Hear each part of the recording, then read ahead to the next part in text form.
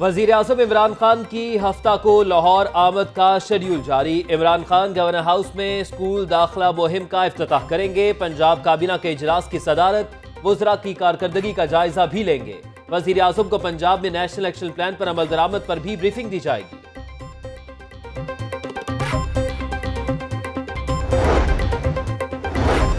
Punjab human organ transplant authority کے regional دفاتر بنانے کا فیصلہ، وزیر اعلیٰ نے کڈری ٹرانسپلانٹ کے لیے خصوصی کاؤنٹرز قائم کرنے کی ہدایت کر دی۔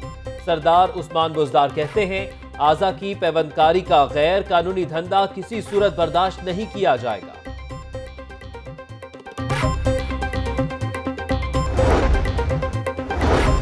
قیدی نمبر چار چار سات صفر سے ملاقات کا دن، نواز شریف کے اہل خانہ کی کوٹ لکھپت جیل آمد۔ نواز شریف کی والدہ شمیم بیگم اور بیٹی مریم نواز اور بھتیجا یوسف عباس جیل پہنچے۔ سینئر سیاستدان جاوید ہاشمی کی بھی جیل کے باہر آمد۔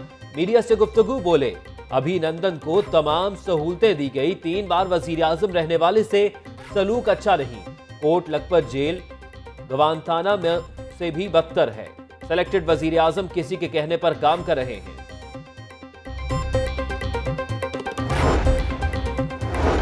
لاہور ہائی کورٹ میں لاپتہ فرحانہ بی بی کی عدم بازیابی پر درخواست کی سماعت سی سی پی لاہور بی اے ناصر عدالت میں پیش، عدالت کا لاوارث لاشوں سے مغوی کے والد کا ڈی این اے میچ کر کے رپورٹ پیش کرنے کا حکم۔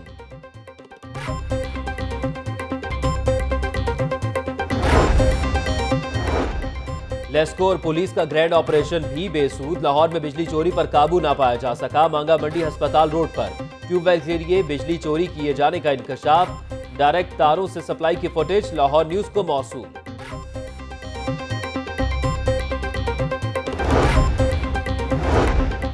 گیس تو آتی نہیں، پکائیں کیسے اور کھائیں کیا؟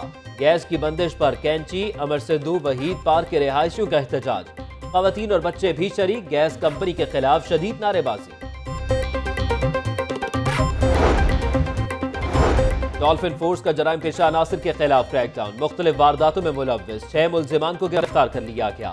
اسلحہ اور دیگر قیمتی سامان برآمد کر لیا۔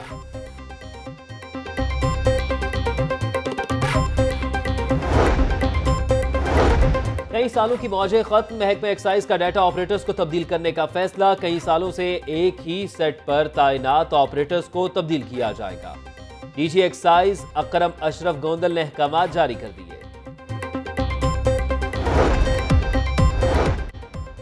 اور ڈی سی لاہور صالح سعید کا گرلز گائیڈ ہاؤس کا دورہ، گرلز سکاؤٹس کو دی جانے والی ٹریننگ کا جائزہ صالح سعید کہتی ہیں، شہری دفاع کی ٹریننگ کو جلد از جلد مکمل کیا جائے۔ تمام سکولز انتظامیہ صفائی ستھرائی پر خصوصی توجہ دیں۔